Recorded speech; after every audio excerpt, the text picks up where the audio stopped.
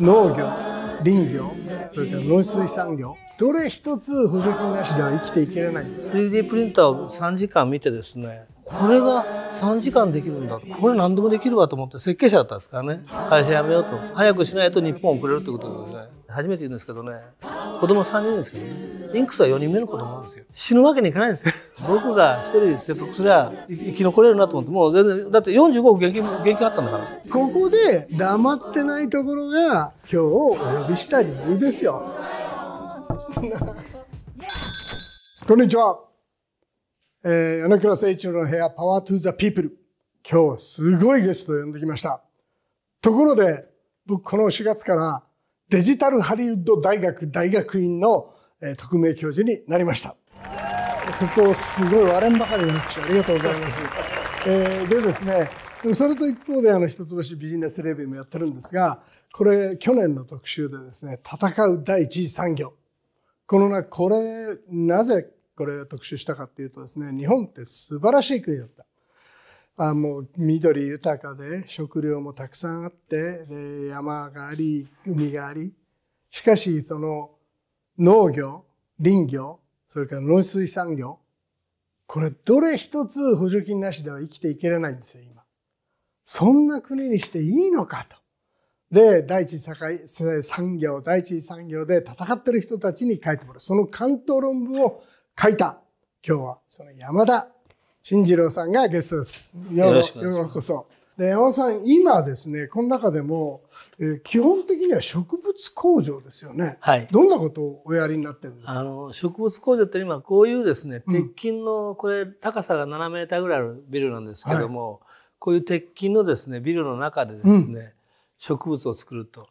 だどういう機械ですか？はい、中に。うん、この機械でですね、今の、今のビルの大きさで5000株、1日に5000株のですね、レタスが生産できます。うん、であの先ほどの場所はあの USMH さんというユナイテッドスーパーマーケットホールディングスさんというイオングループなんですけども、うん、関東に700店舗ぐらい持ってるんですけどもそこにですね5,000株の前に作ったものを200店舗はですね、うん、収穫してから24時間店舗に並んでるんですね。だからだからもう東京の方が結局新鮮。新鮮な野菜が食べられるわけです、地方よりも、うん、そういったものをですね作るその植物工場っていうのが我々が作っている工場ですね。で、会社名がプランテックス。はい。TX ですけど、プランテックスの今会長。会長ですね。はい。はい、でもですよ、皆さん。僕が知ってる山田さんは、こういう山田さんではなかったんですね。えー、多分皆さん記憶が新しいと思いますが、金型の革命児。もうインクスといえばですね、知らない人がいないという、えー、まあ金型工場をですね、はい、えー、起こしまして、いや、一世を風靡しましたよね。先生ともよくお話しさせてもらって、えー、いや、もう、あの頃はですね、もう VV でしたから。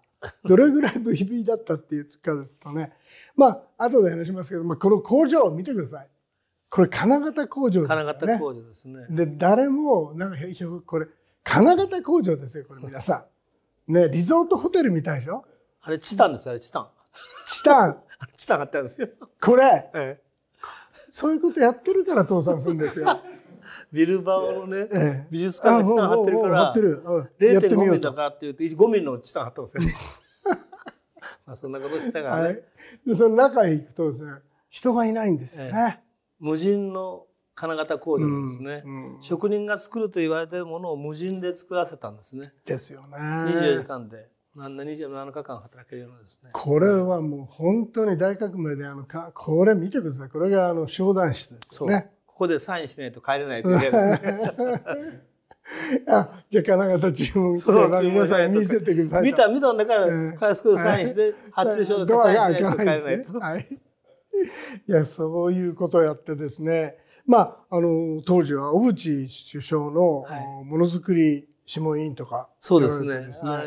えっと、トヨタの福田会長とかですね、うんうん、富士通の秋草社長とかですね、うん、民間人4人でですね、日本のものづくりをどうしようかということでですね、ものづくり懇談会という諮問機関があって、まあ、首相官邸で毎毎週ですね、毎毎月1回朝食食べながらですね、これを2時間ほど話し合うなるほど。そこに入ったんですね。いやだってあの金型っていうとね 3K、まあまあ汚いしきついしとそういうイメージがあったのがさっきの工場ですからねしかも誰もいないとそうですね。で、えーそれがまあまさに輸出産業、日本の輸出産業を支えるっうん。ていうようなことでしたよね。あれはもう革命的でした。まあ自動車もですね、日本を支えている。自動車も電気産業もね、まあその当時はソニーとかあれですけども、結局金型がないと生産できないんですねできないですよね。それを支えてる金型がね、産経じゃダメだということでですね、そしてましてやあの職人の神業だけじゃ、それにさあのさそれだとダメだということでですね、我々はまあ無人にしたんですね。なるほど。で無人にしてですね、かつそのあのビルも長野県ですけども、本社は新丸ビルに3フロア借りてですね、移したんですよね。だやっぱり 3K じゃなくて、ちゃんとね、いいとこに来なさいいや、あれはですね、本当に日本のものづくりの誇りでしたね。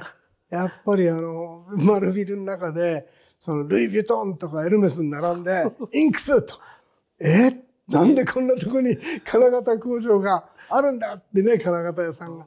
でも確かにあの、金型っていうのは、あ僕も勉強したことあるんですけど、まあマスプロダクションの最も原型ですよね。ねいろんなものを打ち抜いていく、同じものがいくらでも作れるっていうその原型を作る。で、それが、あの、まあ自動車だったらああいうボディの形ですけども、小さなネジから始まっていろんなものに、えー使われる。ところが山さんは、もともとは、あれですよね。そういう人じゃなかったんですよね。そうですね。もともとはですね、はい私、あの、まあ、大学出て、あの、三井金属とかを勤めましてですね、自動車用のドアロックってドアを開けたり閉めたりするね、ね。ドアロックをですね、設計したんですね。で、そのドアドアロックはホンダさんが全部、全車種採用してくれてですね、ホンダの車ドアロックがいいということで、クライスラーもですね、わざわざ呼びに来て日本に、デトロイトにですね、私転勤しましてですね、デトロイト事務所、三井金属デトロイト事務所をオープンして、支店長になってですね、うん。でクライスラー100%取ったんですね。1000億の契約をですね。ああ、クライスラーのじゃあドアロックは、全部全部三井金属、はいデトロイト支店長、そうです。山田さん、そうです。やってたんだ。と ところがなんかところがねあの、その時にですね、でデトロイトで、まあ、ビッグサイトのようなところでね、あのこう機械店があったんですね。機械店の中で、光造形という、ス当時は 3D プリンターですね、今で言う。3D プリンターを3時間見てですね、こう、物がこう出てくる、いや3時間ぐらい出てくると。いい要するに、まあ、3D プリンターええ 3D プリンターやって、で、レーザーでだけど、ですねそれ何年ぐらいですか？それ1989年ですねいや、。もう出始めですね。で、まだ、で世界で初めてそこで、あ、見たわけですね。見たんですよ。7000人の日本人が見たんですよ。でただ一人、キ ピンときた。ええこれは早く日本に知らせないとですね、うんうん職人の技に頼ってる日本は潰れてしまうと、もうそういう時代じゃないと。んだから早く知らせようということでですね、その場で3時間見てるときに、結局三井金属17年間勤めたんですけども、やめようと思ったんです。で、帰って、家帰って家内にですね、階段上がりしなね、帰って家に着いて、着替えに上がろうとした時に降りてきたから、会社辞めるよってですね、三井金属デトロイト支店長でですね、やってた頃にね、ちょあの長女は高校2年だったんですよね。うんうんでもうちょ3人いますけどね、でもそれでももうやめようってことでですね、単身赴任で日本に、単身か勝手に日本に帰ったんですよ。やめて。まあ、で、え家族をアメリカにアメリカに残して。でも辞めると、だってデトロイト支店長でしょ？支店長ですよ。で、クライスラーのドアロック全ええ部取って、受注して、それで自分で設計してね。うんあ自分で設計して、設計してできたわけですねた、設計山田を連れてこいってデトロイト呼ばれたんですよね。ねドアホンダのドアロックを設計したのは誰だということでですね。なるほど。名前をちゃんと調べて。て来たんですよ。で、指名で。えでで、ところが、その、3D プリンター、ええ見て7000見てたっていうけど、山田さんはなんか3時間見とれてたらしいです。そう、3時間ずっとこうやって見てたんですね。で、最初何やってるか分かんなかったんですよ。うんうん。で、瓶、小さい瓶が出てきたんですよね。うんうん。こう、書きええそれで。分かるまでに1分かかったですね。そこれ、これが何だろうた、た、たかがこんなもんじゃないかと思ったけども、瓶ってこうなってるじゃないですか。うんそうするとですね、機械加工できないんですよ。なかなか。あの、なんか、うんうん。要はかなり難しいんですよね。それに対してですね、あの、あ、これが3時間できるんだと。そうですね、それ、外見だけじゃなくて、うん中も削れて出てきた。中も削れて出てくる。だからび普通の瓶ですよ。オールドの瓶みたいなですね。うんその瓶が出てきてね、あれってこれ何でもできるわと思って設計者だったんですからね。んこれだったら自分が書いたものを次の日の朝もう物が全部入れると。それでもうすぐ、そのこれはもうダメだと。やめようと。すごい。会社辞めようと。うん早くしないと日本遅れるってことうんですね。うんそれがまあ本当にこれ全然嘘じゃなくてですねもう17年間辞めて、うん。あ勤めたところを辞めるってもほとんどそのそこになんか未練とかなかったなかった。よあのよくしてもらったんですか？ら三井金属には、ですよね。支店長までやってます、やってですね。えーしかもなんかとんでもない給料もらってた。そうそう1400ももらったんです当時。ちょっと待て、1400万もらってた38歳でね。もちろん家賃込みですけどね、で、きっぱりやめて。うんまあ、ご家族も驚いたでしょうね。いやだからね家族会議開いて一人ずつ聞いたんですよ。高校2年高校あの家内高校2年中学校3年生あと小学校 5, 年生かな、そういうふうに聞いてですね。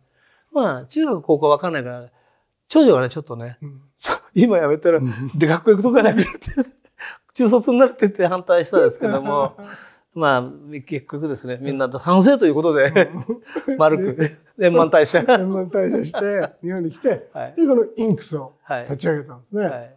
でこれ、当時、やっぱり一番大きなあれは、携帯電話でしたか？いや、まだね携帯電話はね、日本で出てないかったんです、出てたんですけど、で出始める、こんな頃ですよね。まだ稼ぐ。でっかいですね。ええ。でもアメリカはね、自動車電話がすごい発達しててですね、僕も86年からずっと自動車自動車電話を使ったんですよね。で会社の電話だから使いたい放題、日本にかけたい放題。それで、それを見てね、こんなものは便利だなと思ってですね、で、今から金型を作るとしたらですね、金型は最高発なんですよ。うん。やるとしたら。最高発ですから、どの金型をやろうかと。自動車のバンパーからあるあるわけですねな。るほど。その時にですね、今から時代としてはね、携帯だと。携帯は20部品なんですよ、あれ。うんあの、プラスチックが。んで20型同時に作らなきゃいけないですね。うん。一一部品足りなくても形ができないんですよね。できない。だからその20型を同時にですね、作ろうということをですね、そしたらみんなに示せると。これが1台分できるということをですね、20台分のええ金型を。金型を、うん。20台って 20, 20, 20部品のね、うん、20部品ですね。はい、うんそれで、でそれがひ一つガチャッとやると一つ金が携帯になるとうんいう形でですね、それで、携帯は小さいんですよ、ね一番、当時は一番小さいものなんですね、金型で。その設備が小さいんですよ。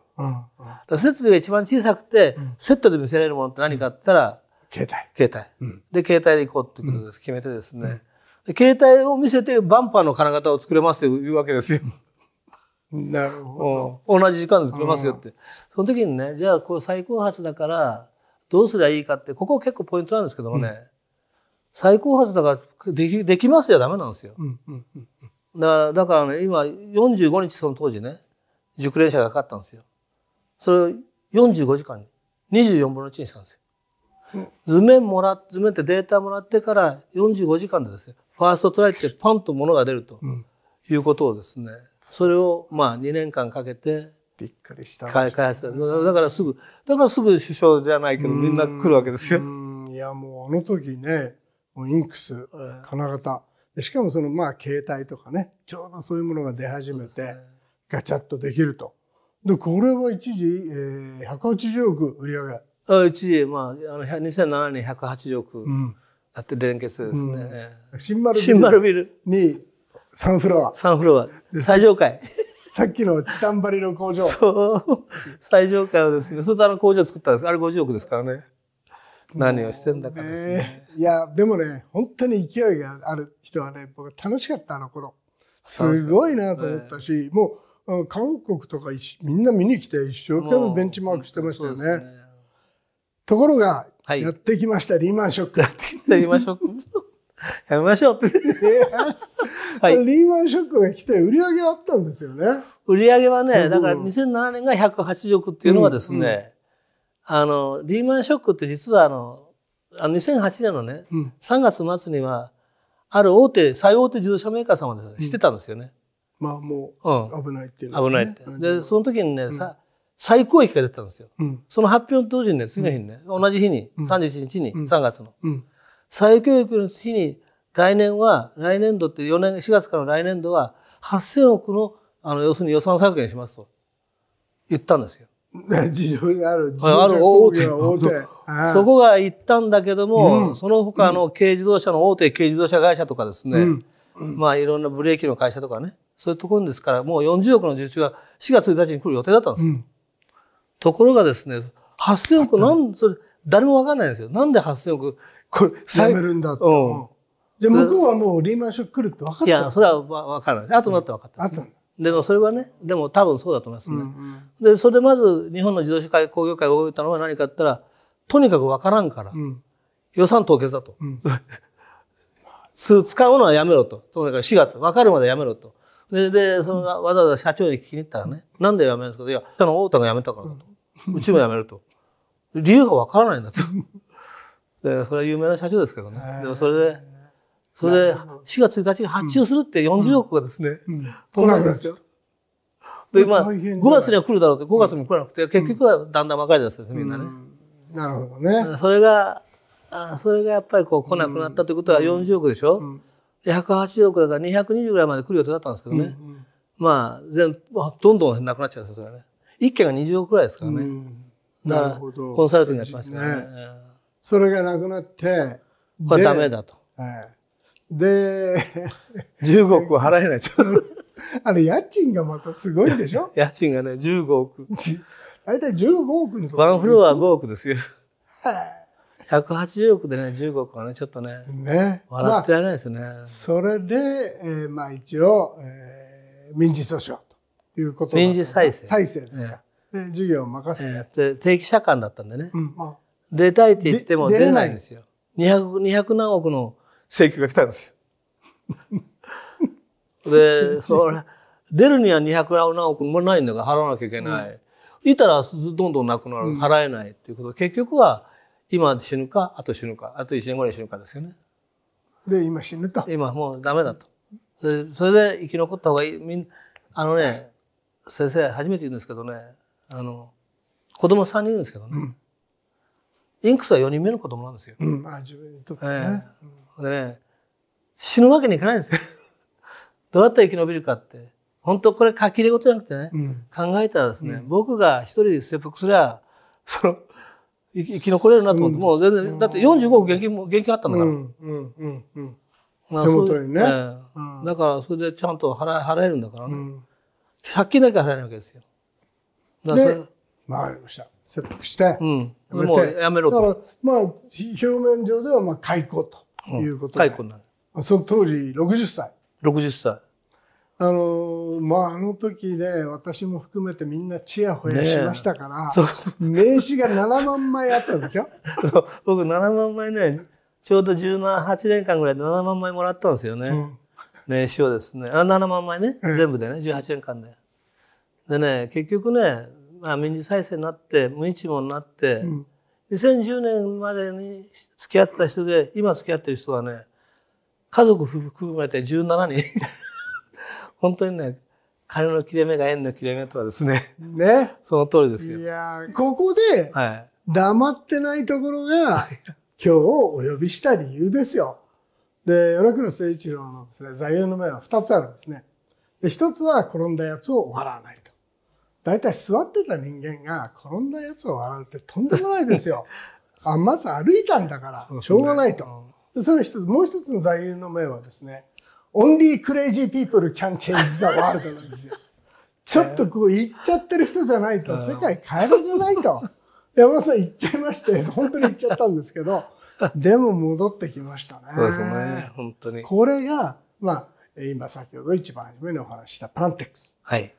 これは、この、この中でも書いてましたけど、日本の自給率とか人口爆発、これから85億から100億になる。